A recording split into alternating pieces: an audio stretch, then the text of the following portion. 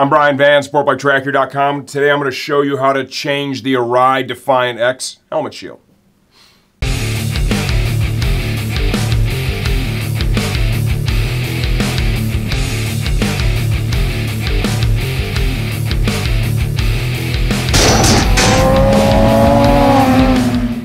The Arai Defiant X uses the latest generation Arai helmet shield. Same shield fits the Corsair X, the Quantum X, the Regent X, and the Signet X. So it uses all the same components, and this was a giant leap forward as compared to the previous versions of Arai helmets. There's a lot of engineering that goes into this, right? And if you compare this to some, especially less expensive helmets that are out there, right, this is going to look more complex. It's just simply better. First thing you need to do is release the lock and lift the shield all the way in the upwardmost position. If you look on the side of the helmet, each side will be identical, a mirror image.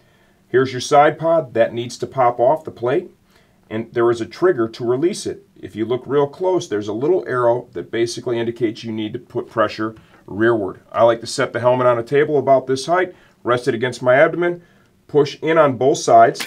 Notice how I have my hands out from the helmet. That allows the side pod plates to jump off.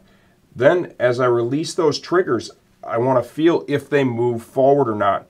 If they move forward, I'll show you how to deal with that, but these are holding their themselves into position right now, which is going to allow me to simply rotate the shield forward and pull it right off the helmet. It's literally that easy.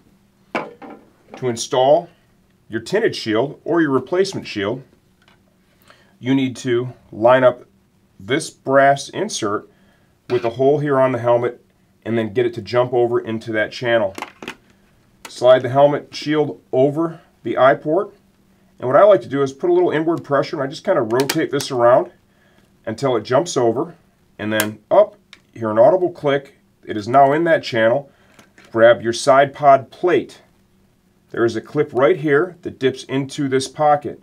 Working from top down, slide that into the pocket, push, audible click, we are cash money on that side.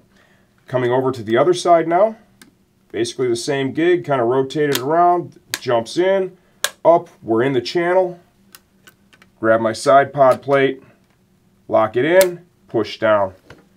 From here, before I go out for a ride, what I like to do is I like to work the shield a couple of times to make sure that I have this installed correctly and we're not going to have any issues. Now, in the event that these little triggers don't stay in the forward position, it doesn't happen very often, but if it does happen, what you need to do is while the shield is still in the upright position, make sure you're pushing back until it stops. That will allow you to then release the shield on the helmet. If you guys have any questions, just leave those in the comments section of this video. I answer all that stuff myself. I try to get it done in a timely manner. And please understand, I'm here to help you have a great experience with your Arai Defiant X.